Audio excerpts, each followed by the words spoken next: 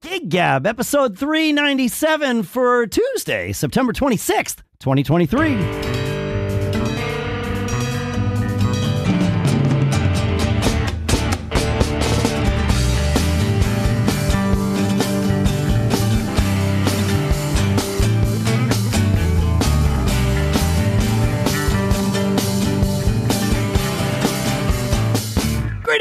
And welcome to Gig Gab, the show by, for, and about working musicians.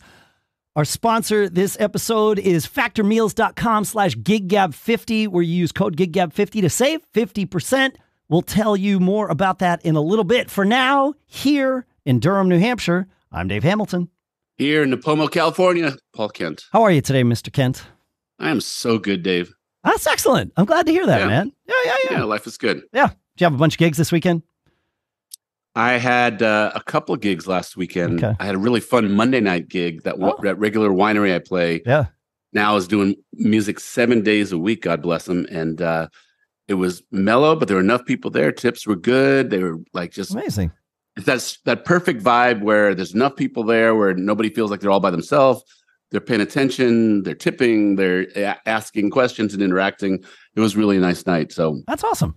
Yay Monday gigs. Yeah, yeah. I finished. We had Tech Week, so I played uh, eight days in a row. We we we got the show up and running. Things went great. We we opened the show soft opening on Thursday, then Friday two shows Saturday, and then I had a bitter pill gig on Sunday, which was also my birthday, which uh, worked out. It was actually really Happy nice. birthday, Dave. Thanks, man. Thanks, man.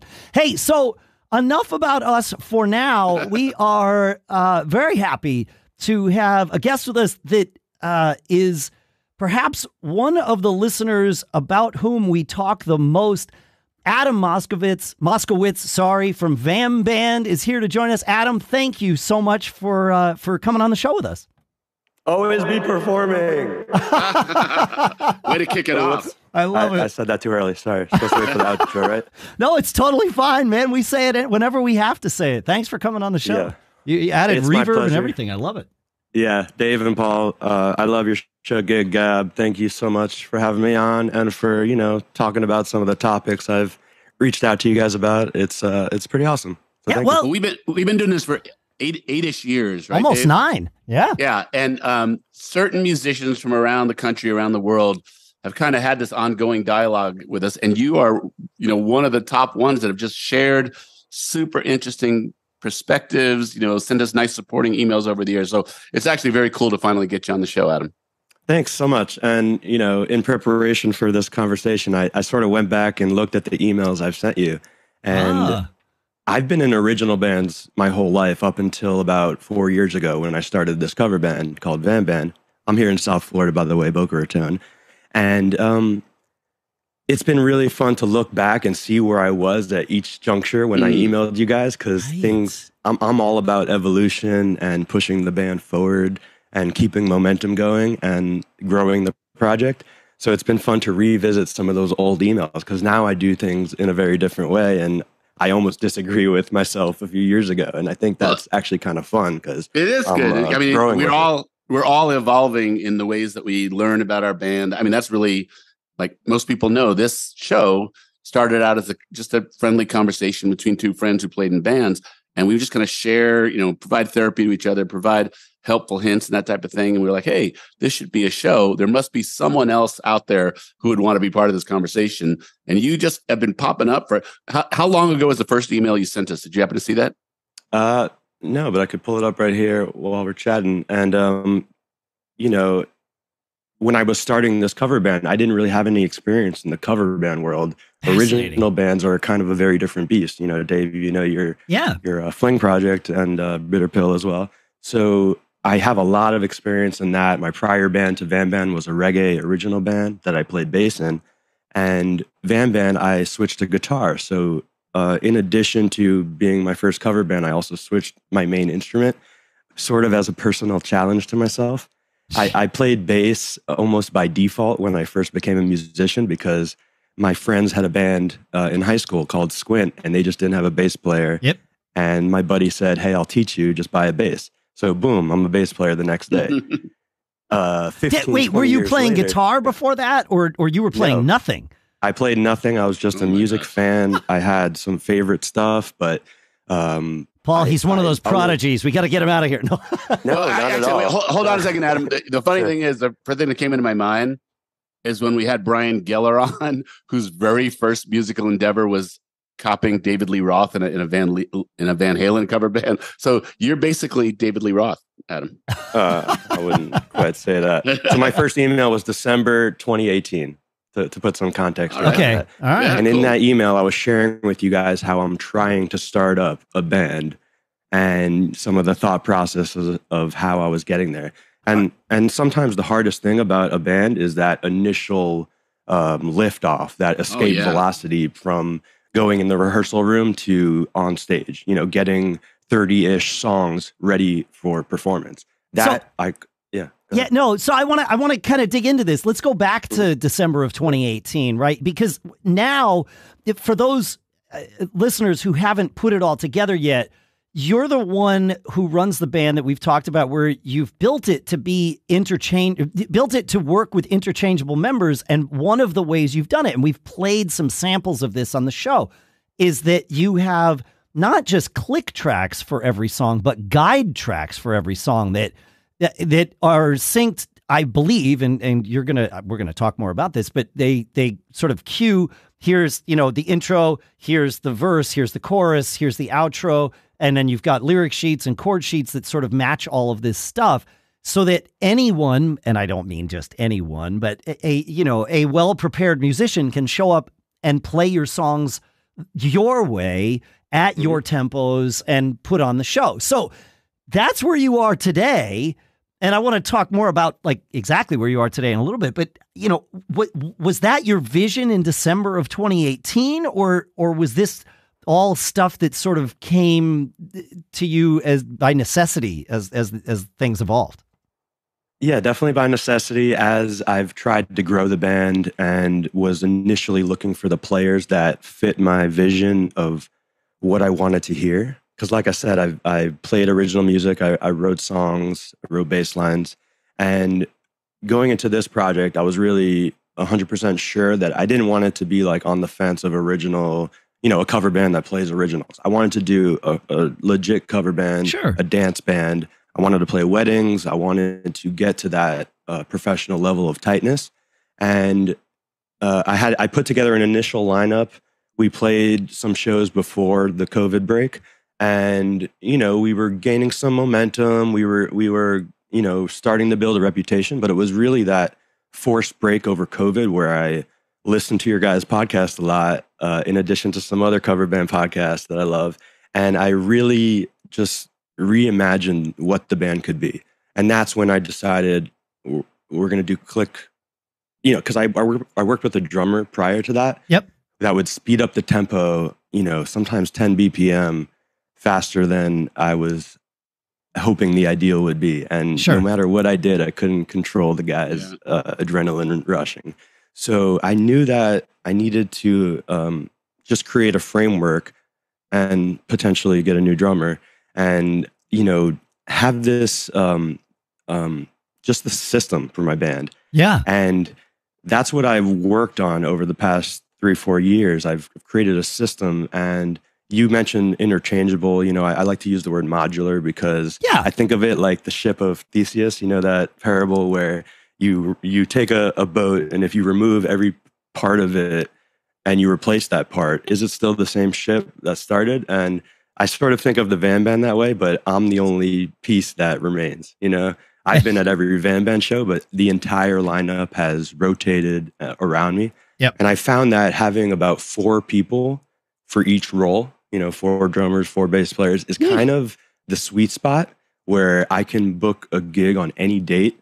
And I know that at least one of those four, they all know my repertoire. Sure. I send out a set list like two weeks ahead of every show with the exact songs we're going to play. I send them the Google Drive link to all the tracks. And we also perform with a lyric teleprompter, which I think we should get into in a little bit. Okay. But All right. Yep. it's it's huge. Between the click, the cues, and the lyric teleprompter, those three things are the magic trifecta that have allowed me to create this super tight band that I've dreamed Ah. of. So you're like you're like the Steely Dan of cover bands. Like you you you have all these when, when not not today when Steely Dan has the same lineup that you know for every show, but when they were you know in the studio, they'd have like three drummers play the song and three bass players, and then you wouldn't even know if you, who you were going to be playing with if you were the one that would make the track. So this is kind of how your band I, is. I got. I Yeah. have so many questions for you, Adam. Here's the first Jump one. in. Are you an engineer? You mean like sound engineer?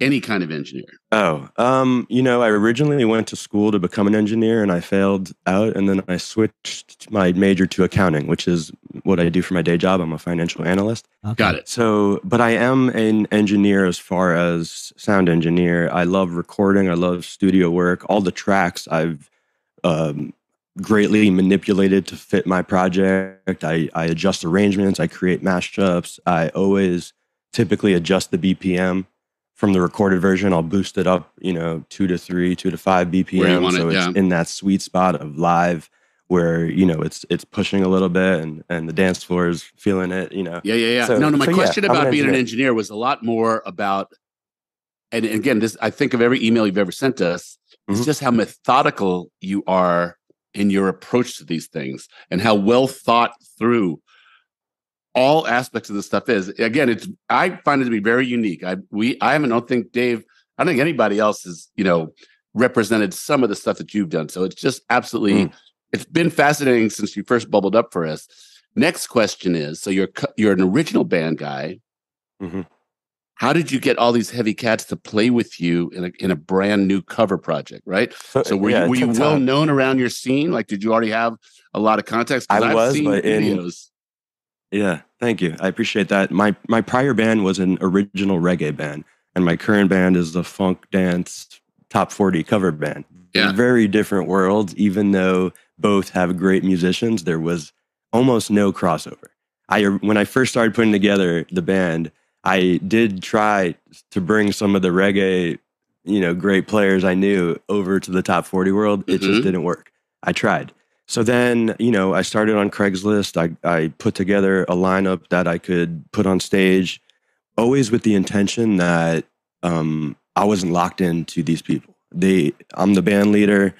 I, you know, they serve a purpose for a specific gig, but I knew that my vision was always bigger, and I knew that if I f- continued to follow that, and I'm not just willy nilly firing people. It's more about I'm chasing a sound, you know, and that's that drives everything. That drives all my decision making. I'm chasing a sound, and um, I'm happy to share that. Like now, currently, um, Mm. I love this band. Um, we're playing better than ever. I've really, you know, I have like a order of preference in my lineup. of course. Well, that's what I'm going to ask. When you say I love this band, if you're four deep at every, which band do you love? All, all of it, all of it, Mm. all, All- all, wow. all 25 of them. Or if I have four for you know six positions, do the math. I'm not going to do it on the spot. yeah, yeah. Doing live math, it's 24 is the answer. But there it uh, is. I was going to guess it, but- but, I didn't want to. But I've learned on my on my Mac Geek Gab show to never do do live math. It's always wrong. That's right. So I You're actually have smart man. Uh, vocalists, so four male, four female, and so that brings it up to about thirty. So I'll say Yeah. that I call it the VAM Band family. But before every show, Paul, I've heard you talk about, you know, does your band do like a huddle? Actually, I wrote in once about my set list, and you saw on the bottom, I, I always write "play with love," and uh, that's just you know a little note for the band members, just just a reminder when they look down, what's the next song? Oh yeah, like we're, we're playing music it's not just like a rote thing that you just play the notes. That doesn't matter. It's all about conveying the feeling of the song. And um, I I really love the the connection that uh, can be established with with the crowd. It's like music is my passion. It's not my main source of income, but I love it. I think deeply about it.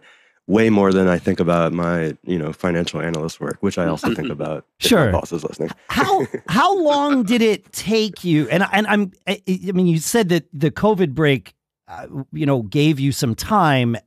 Like, Mm.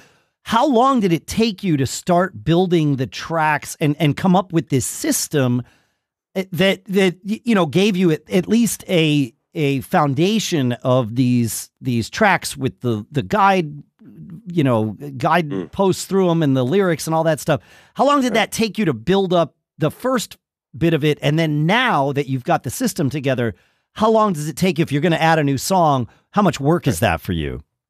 So we, you start with one song. You know, that's that's all you can ever Sure. do. So we, I knew that we had a gig coming up that uh, I had some time where I could try to prepare the 34 songs or whatever we needed for that gig, and I started there. And actually, I've learned so much along the way about what's a good uh, click sound. You know, Yeah. some some click sounds will get lost in the mix really easily in a live mix. Uh, yes. So we use I a can- I can attest to this. Yes. yeah. So uh, I use a cowbell and it has an accent on the first beat and it's consistent for every single track.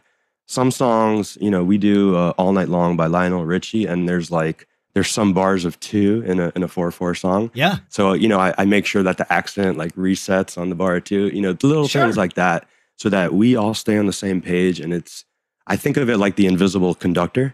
So I started with one song. I think the very first one I did was the song Brick House by the Commodores. Yeah. And from there, I've just iterated. I've kept uh, doing songs. We have about a repertoire of over 140 songs currently.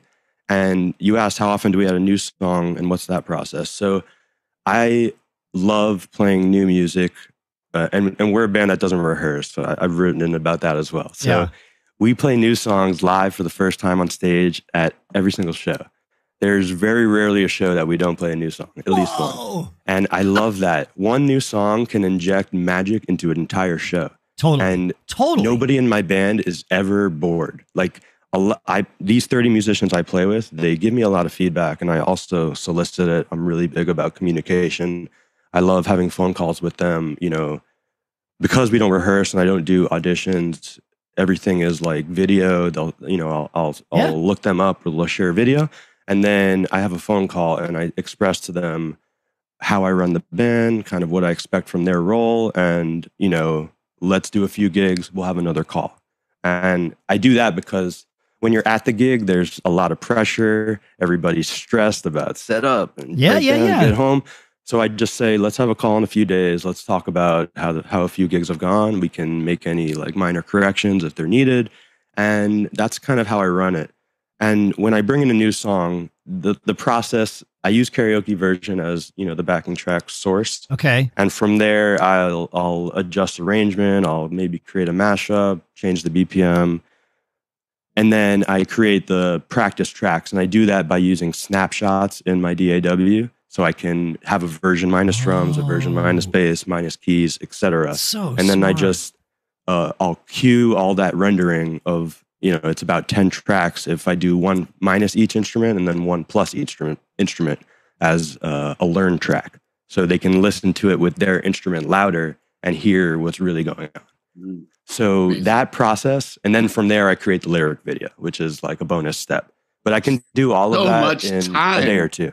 so much time that you're putting in for preparation. I mean, this is not this is not the beginner's table here. This is like some seriously well thought out stuff. Yeah, but it, it's stuff that has like it, you but I mean it's not the beginner's table, but it's not like you've been doing this for 30 years either. Like you've really come together with this. This is fascinating. I like and part of it it's good that you haven't been doing this for 30 years because you couldn't have done this Mhm. 30 years ago, right? So your band Very true. your you know your your band would not uh be able to to be like this were it not for um you know were it not for the the availability of of all the technology Great that- tech. Yeah. Mhm. Yeah, and the in-ear together. technology that you know makes it possible for us to hear the cues and the click. I, I'm completely, you know, I'm looking, um, I'm looking to like the biggest pop acts, the biggest uh, bands that are touring, and I'm saying, what are I can't afford to go to many of the shows, but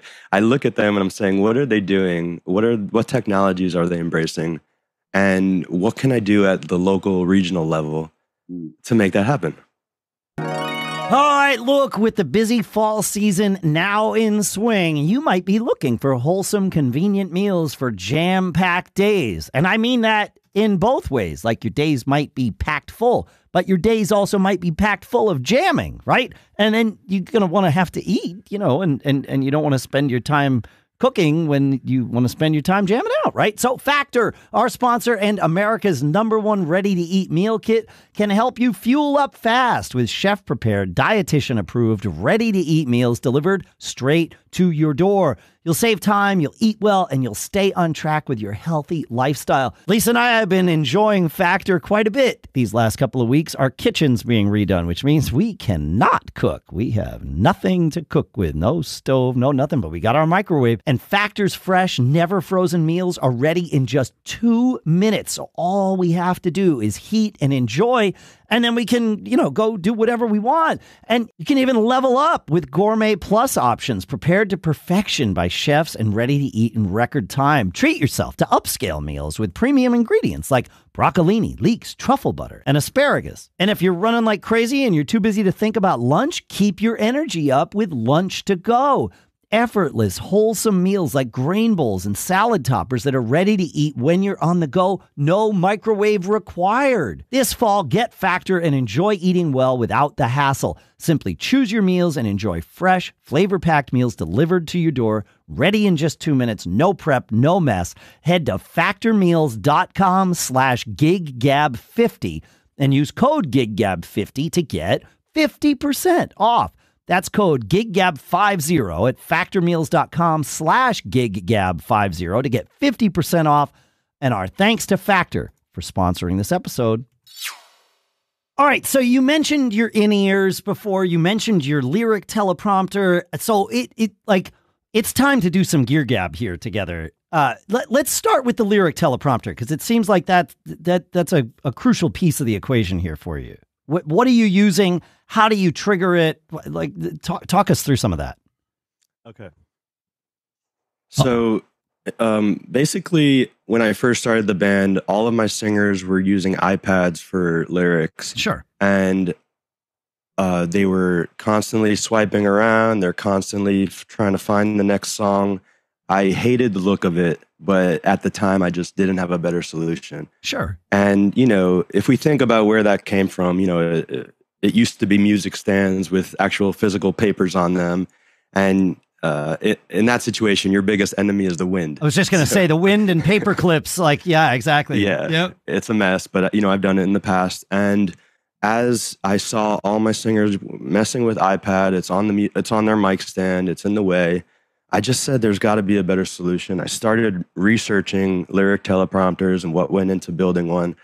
There's some solutions that are um, a little bit more elegant than an iPad, but they still required um, what I'll call manually manual scrolling. Okay. So either the singer has to have some sort of foot pedal. You know, there's one called AirTurn that's a Bluetooth yep. foot pedal, and you yep. could page up or down. Uh, but you still have to find the next song unless you order the set in order. And and we never play the same set twice. Every show is unique, uh, both in lineup and in set list. So yeah, that wouldn't work right. for me. Uh, I'm not a kind of guy that wants to play the same set and just rinse and repeat. Uh, it, it, works for some bands, sure, um, but it doesn't work for mine. And actually, before I continue on, I just want to caveat all of this that there are so many different types of bands. There, you know, a band is a business I run mine this specific way, and I'm happy to share all my uh, secrets and and, te- and techniques. But maybe it doesn't work for your band, you know. But maybe there's maybe there's some little thing that you can take from what I'm sharing and incorporate it to make your band's production better or your uh, stage experience um, cleaner. So I use an app called StageTraxx Three, and the reason I went with that one as opposed to some others that do a similar lyric uh, display. There's like BandHelper, on song, a few of them. Yep. Uh, StageTraxx allows you to specifically time code each line of lyrics. Oh wow!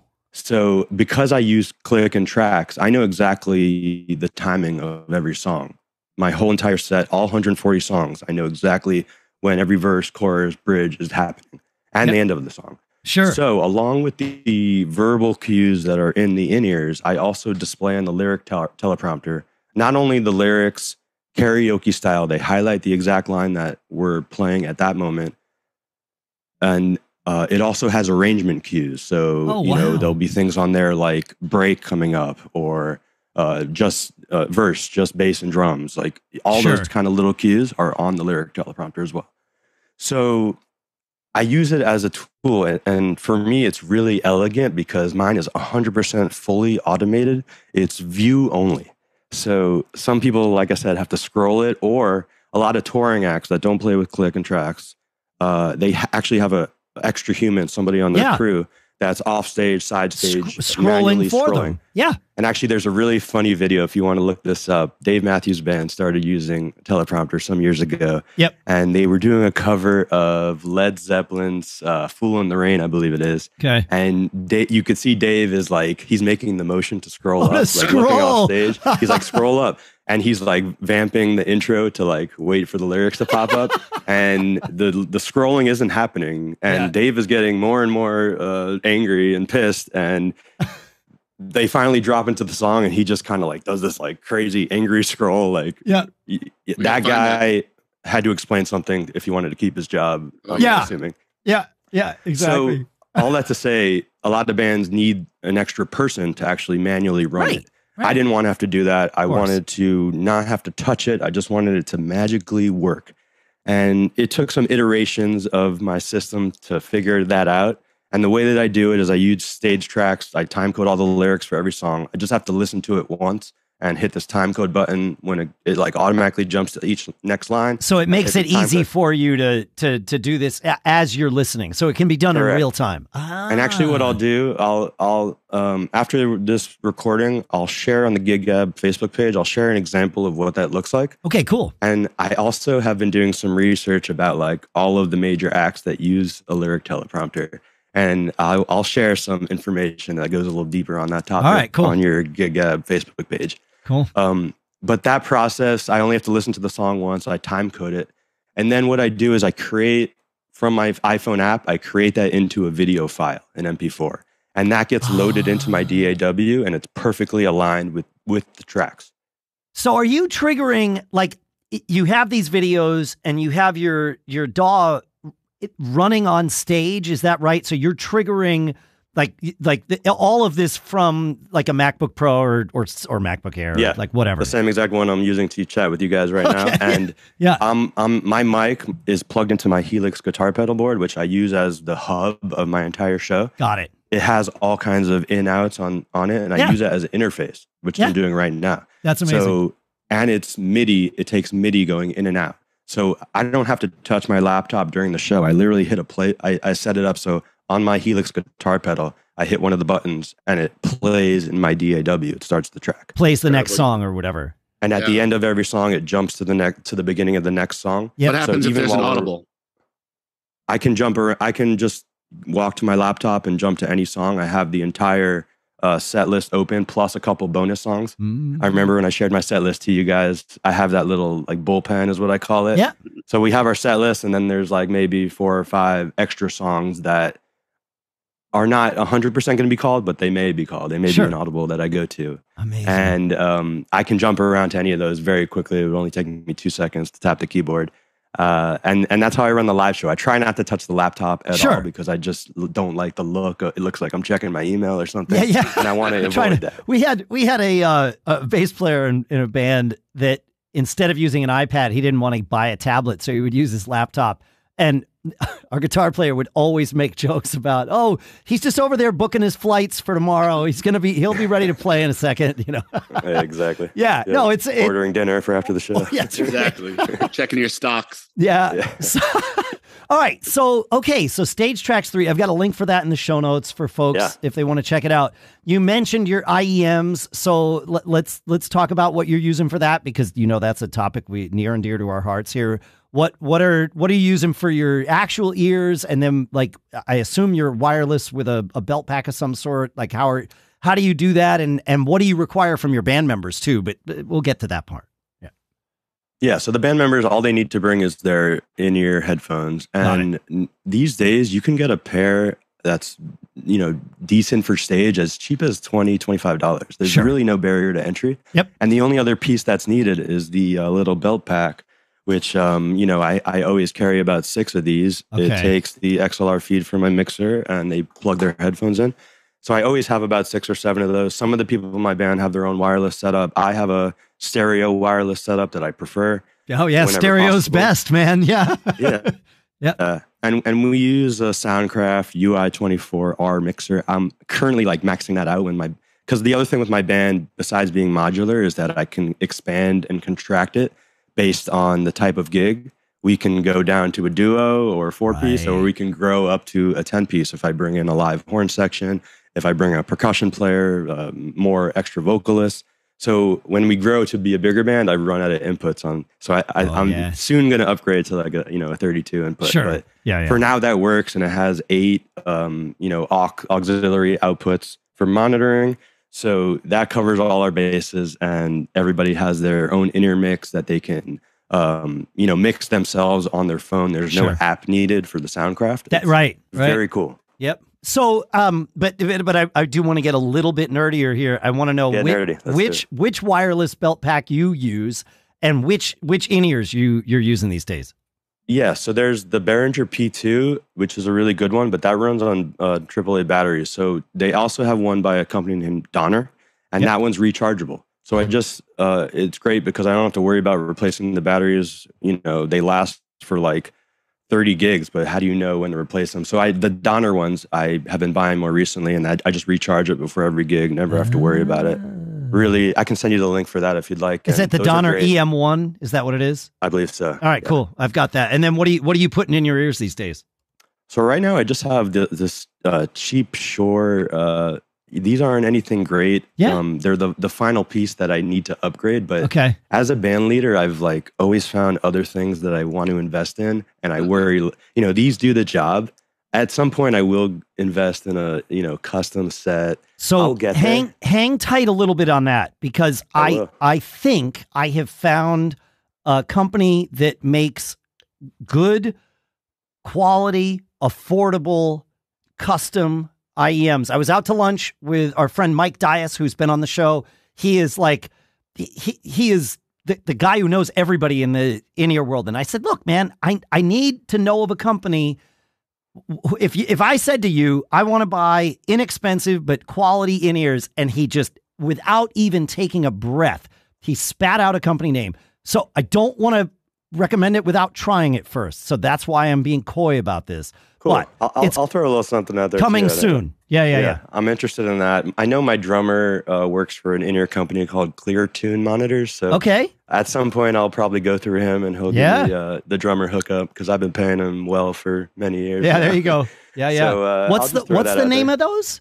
Clear Tune, Clear Tune Monitor. Tune. Okay. Yeah, yeah, yeah, Yeah. All right, cool. Yeah, I'm I'm always happy to hear about it, you know, the the off-brand ones because that's what generally that's what's going to be affordable for people and if somebody's doing it right but they aren't spending, you know, a fortune on marketing, well then maybe that savings can be passed along. So, Well, Yeah, we've been talking quick. about this a while. How Yeah. these things get commoditized, yeah. and the the name brands hold on to a high price point as long as they possibly can. But in the meantime, like if you go on Amazon, you are seeing like people raving about some of these in ears that are like you said 20 40 50 80 dollars Yeah, and KZ is the brand. K, yeah, Yeah. KZ for the for universal fits. Yeah, KZ is a great place to be. that's to what start. nick uses yeah Yeah. yeah Yeah, yeah, yeah.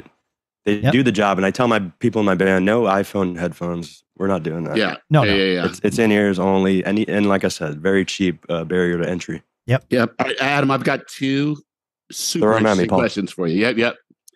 So, uh, six to eight people at each at each position. You're very deep. You're a band leader. Do you ever get people saying, "Why didn't I get that gig? What you know? Wh- wh- what's going on here? You know, I thought I was your guy, or something like that." So, how do you? How do you? It's socially difficult to manage the same people every day. How do you manage a deep bench? Sure. So many of the people I play with perform in several other bands. So, and not all of them, but part of me is, like I said, always chasing a sound. So when I'm considering who to hire for a gig, it's, you know, I have my preference as far as my rhythm section, but vocalists, I actually enjoy, I, like I said, I have eight vocalists, four, four male, four female. I actually enjoy mixing and matching them in different, um, you know, Really are like Steely Dan. combinations. Yeah. Yeah, Yeah. I, I- it's fun. I mean, I do this for fun and joy, and it's it's uh, every show is then got this like special energy because we're we're laying it all out on stage, sometimes in front of really big crowds for you know, we're performing this stuff for the first time, but everybody is professional, highly professional. And everybody's coming prepared, ready to go. And I give them all the tools to show up to to knock it out of the park. I mean, you know, with the click and the tracks and the lyric teleprompter, I think of it like bowling with bumpers. So it's much easier to get a strike and it's like almost impossible to get a gutter. Yeah. So what I think your answer is is that you are purposely picking people who are by design not available all the time. You know that, that Partially. it, it goes both ways. So It goes so you know both they ways. can't give And, you and some people some people will express to me, you know, um, I'd love to play with you as often as possible. Um, I think everybody in the network and the family, they know that um, I'm aiming towards something and that even if they weren't invited on a specific gig, they're always happy when they get a call. You know what I mean? super interesting answer. I'm just like my mind is just spinning like crazy at the concept of that. Because like I said, managing the same people and creating a gel is a thing. I mean, like every band member you ever talk to, you like trying to get, you know, a a vibe amongst Mm. the consistent people. Yeah. Is and is, in a way in a way doing the way i'm doing it allows that uh it's kind of drama free because if somebody brings drama to the stage or to to my experience i'm down hiring the somebody depth else chart.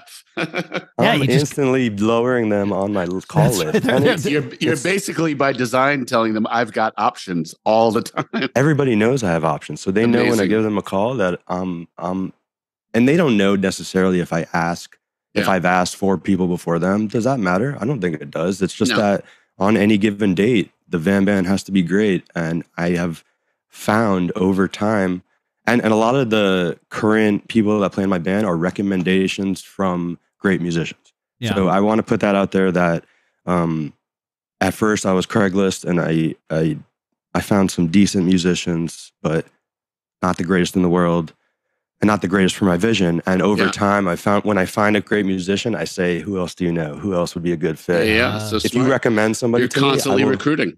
and I and I um, advocate for it because I say if you recommend somebody to my band and I book them on a gig, I give you a finder's fee, twenty five bucks or whatever it is. Sure. What a good guy.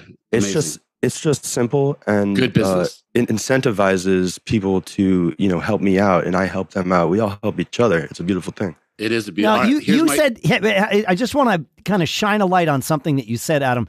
You said everybody knows I have options. It's sort of as the answer to, to your question, Paul. And it reminds me of when I first got here to New Hampshire. I joined that cover band with with it was a female fronted cover band. She ran the band, and she told me right up front. She said, "Look, I have major commitment issues, so I will like never tell you that you are the only drummer in my band. I will likely hire other people."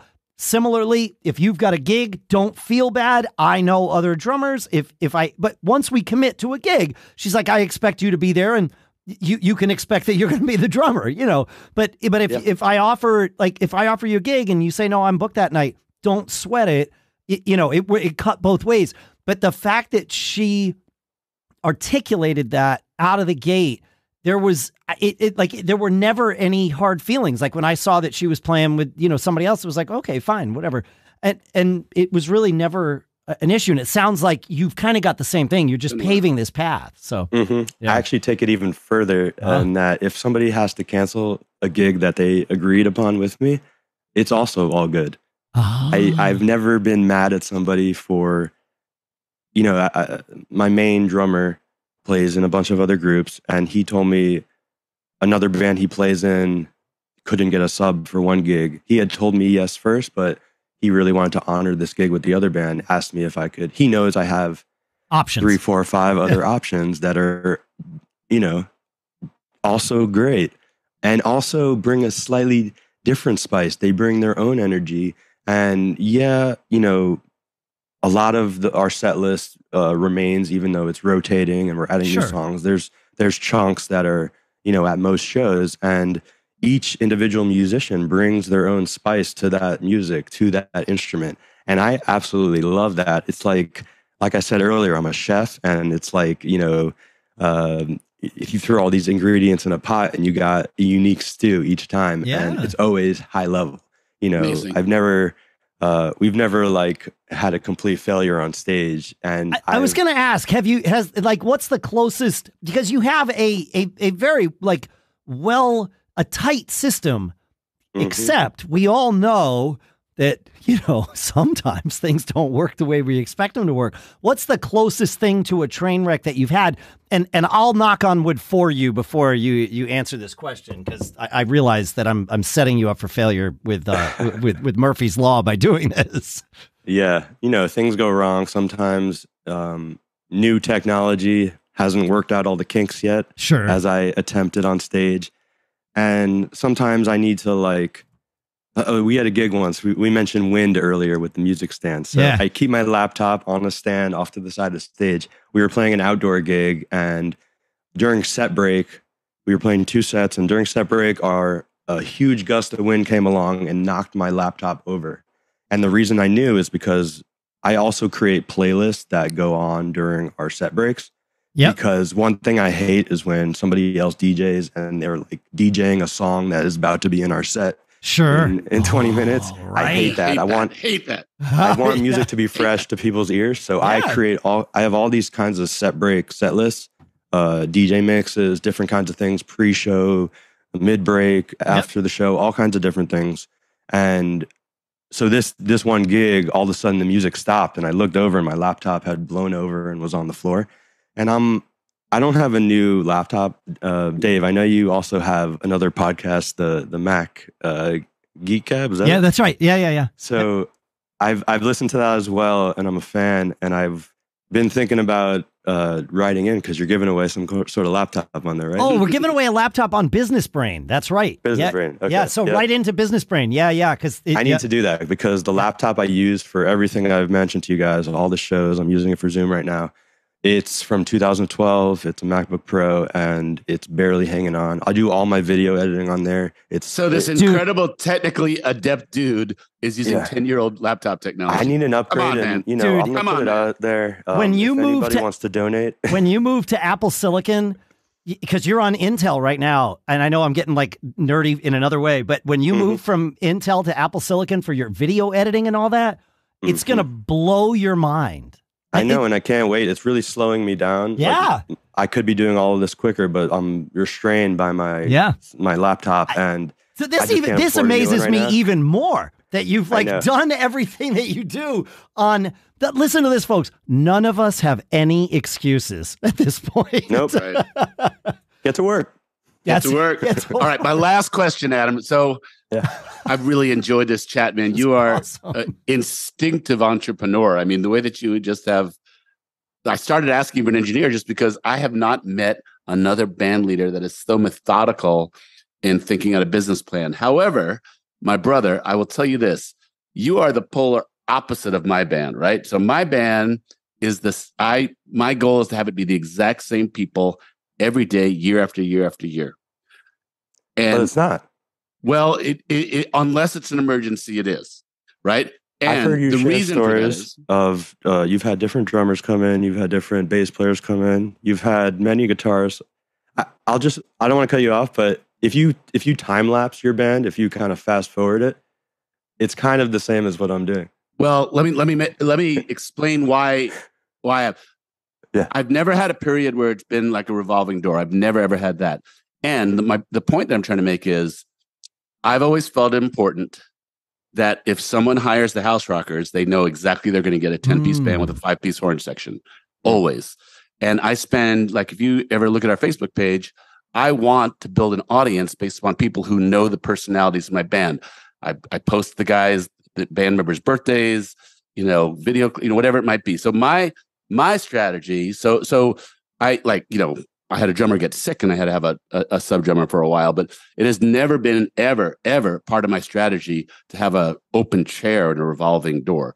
We might have been, you know, uh, like like we had the same lineup for many, many years. Again, an occasional sub for an emergency, but it's never been an open chair type of situation. So that's my point about how we are like very different. So my question to you is, uh, do you do you do you price your band based upon the number of people that you're putting on stage? Do you um, how do you deal with when someone comes up to says, "Oh, I love your band," or "Where's so and so? I love hearing her, sing," or "I love his soloing," or something like that. So, how do you kind of deal with that when when the external forces of the world ask you questions about your model? Yeah, and uh, it's a great question. What often happens is people come up to me. They know I'm the familiar face uh, in a rotating cast of characters, and I, I completely, like I said earlier, there's a million, infinite ways actually to run a business, and a band is a business. So I totally respect the idea of a, uh, a familiar lineup, and people know, um, you know, whoever's on trumpet is going to be on trumpet every show. I, that that's great. I love a lot of bands where I. Uh, I love the individual musicians. You know, if the Beatles had a rotating cast, they wouldn't be the Beatles. Be the Beatles. I get it. But what I'm trying to deliver is a high quality product no matter what. And I don't want to say no to opportunities uh, which I've had to do in the past when I didn't have the options. I've yep. been offered gigs yep. and I've no, had to absolutely. say, no, sorry, my drummer is uh, out of town. So I hated that. I want to play if I'm available and it fits into my life. And I've taken steps so that that's uh, feasible. Um, why? Why? Answer, yeah. Go ahead, finish your thoughts. Sorry. Uh, just one more thing. When people come up and they're like, uh, oh, hey, where's this other singer? But whoever you had tonight, they were so great. It's, it's typically like, every show is unique, like I shared, and the talent that I'm getting is only getting better. So nobody's coming up and saying, "Hey, where's the singer that you stopped That's working cool. with?" There's a reason I stopped working with them because they weren't following my vision. Yeah, right? yeah no, amazing. So the last question, really quick. I and I can we could do this for several more hours.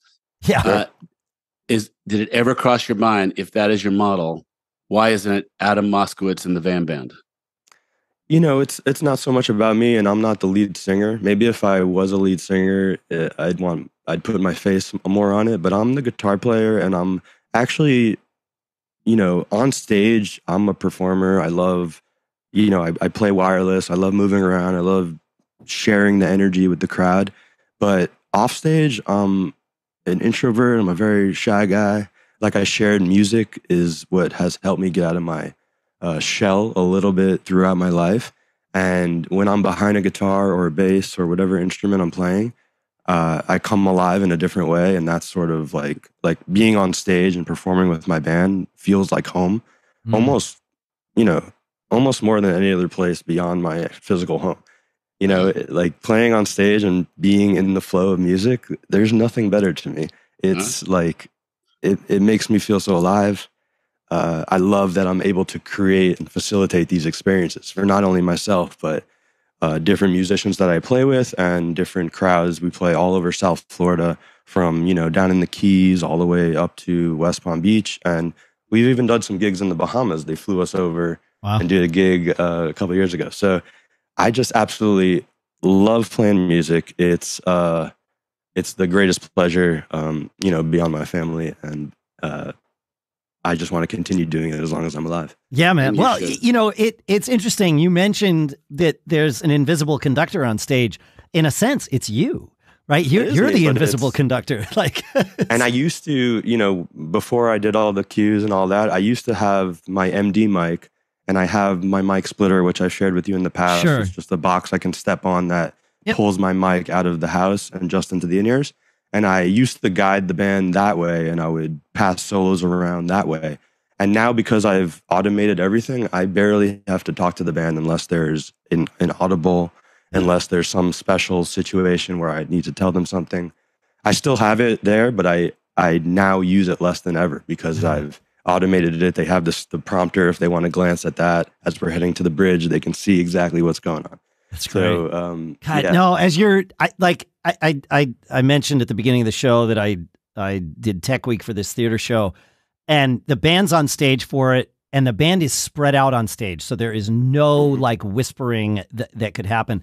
And I've got one night that I'm subbing out, and I spent so much time last week and and this week even creating notes for the sub. It's gonna it's an impossible thing. If I were him, I would quit. I would not mm. want to sub this gig, right? Like th- this is not it's not easy. and it, there's I can't imagine how it's going to go well because he hasn't had the benefit of, you know, six rehearsals learning all these things. But as you're talking about what you're doing here, it's like, oh man, if we could create a guide track for this show and just have it tell him, like the MD can talk in his ear a little bit, but there's no Mm-hmm. way to tell him everything that he needs to know, especially when the MD is also on stage. Like you would just have to constantly narrate, and that's going to be distracting, you know? So, yeah.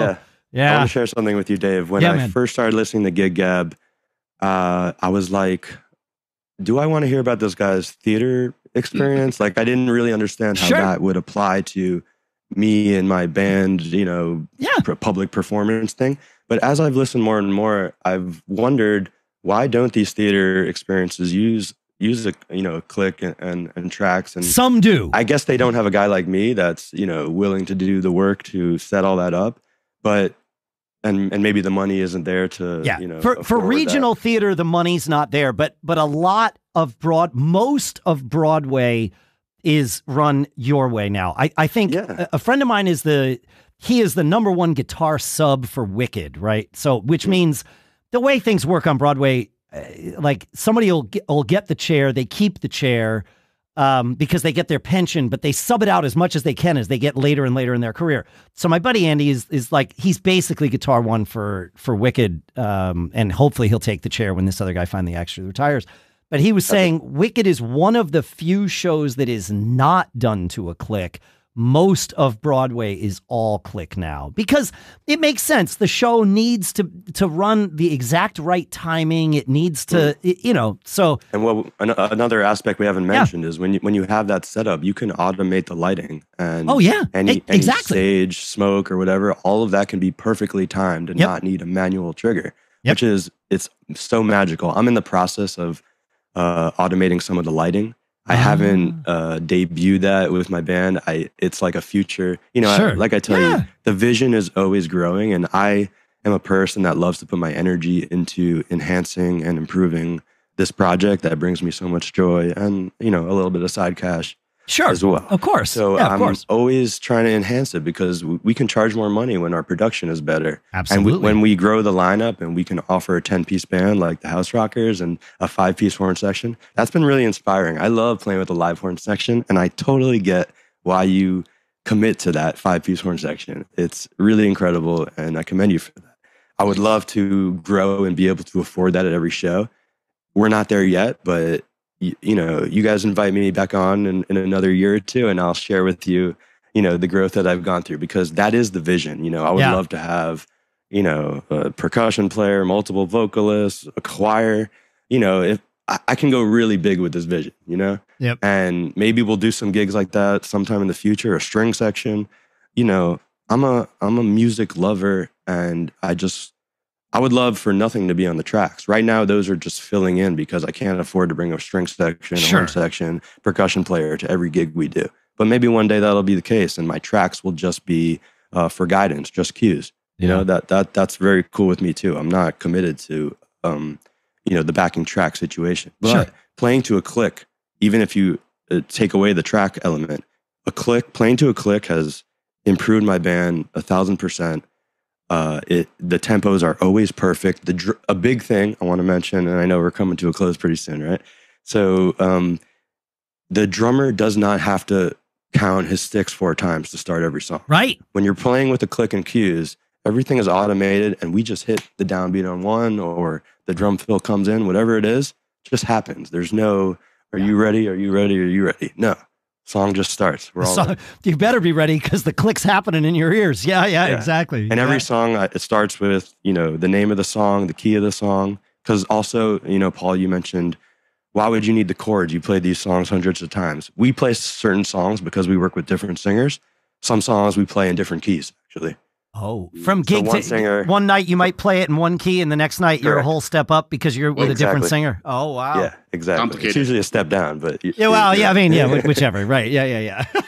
but because of that, you know, I have different versions of each track if they're in the different key, so that uh, what's being displayed and what's coming through the in ears is for the appropriate key for that singer. So that's just a little It- extra step that I go. super amazing business model and, and creative model actually I, actually business model is what you were able to go out with but as you talk through it it's really a creative model for you and it just totally this interview is as good or better than i could have hoped you know just you are super interesting, Adam, and congratulations on all that you've accomplished. And keep going and come back when you get that horn section. We'll compare notes on managing horn players because they're freaking Mm. nuts, man. yes. But I love them. That that sound of live horns, they're- they're- you know, there's nothing. Yeah, that there's nothing better. That You know, moving air through I a agree. metal thing. That's one instrument that I don't play that I um, would love. You know, if I could make that sound through a saxophone or a trumpet, it would be really awesome. So I really appreciate those players, and uh, you know, your guys' podcast. Like I said, it's it's been really inspirational as I've grown this band, and I, you know, I've thrown some ideas at you guys, and you guys kind of uh, throw them back on the show. So it's really cool to like see that progression and then come on the show and be interviewed by you guys. Thank you for having me. It's it's really Oh, cool man. and great, it's man. it's uh, awesome Well- pleasure to chat with you. It's been a conversation among friends for eight plus years, and now consider yourself a friend. Yeah. Thanks for all the emails over the years, and thanks for just adding so much to all the listeners that are listening tonight. So thanks a lot, man. Where sure. te- before we go, tell uh, tell everybody where they can find you and find find VAM Band. Yeah, so on Instagram, I'm at Adam Moskowitz Music, and you'll see my name spelled in the episode title. Uh, I'll also share it on the Gig Facebook page because I'm going to share you uh, a little bit more detail on the lyric teleprompter just so you guys can have it all. And also a bunch of pictures of different artists using them. Um, my band is at vam.band on IG. And, you know, it's free to give us a like, a follow, and you know, drop a comment. All of those things are free. If you guys enjoy bands, you enjoy their music and their shows, it's so easy to support bands. And I try to be um, not only the best band leader I can be, and I've learned from a lot of other band leaders, but I've always just tried to be the change I want to see because I've worked with other band leaders and I've been like, man, I wish they did this better. Man, I wish they were more organized. And uh, Now, you get I to do those things. Yeah. yeah. And in all my bands in the past, it wasn't just me as band leader. It was usually like, um, you know, shared with somebody else. It was um, a partnership in a way. Yeah. This is my first band where it's like I'm running the ship. I'm doing things the way I do it 100%. And you're you're you're rocking it, man. This is great. Thank you so much. Th- I'm, I'm thanks it for up. thanks for coming on the show. This has been uh, it's been a long time coming, and I'm glad we finally made it happen. Yes. Amazing. Yeah. Yeah. I got one last thing to say to you guys. Yeah, what's that? What's that? Always be performing. That's good advice. Thanks again, man.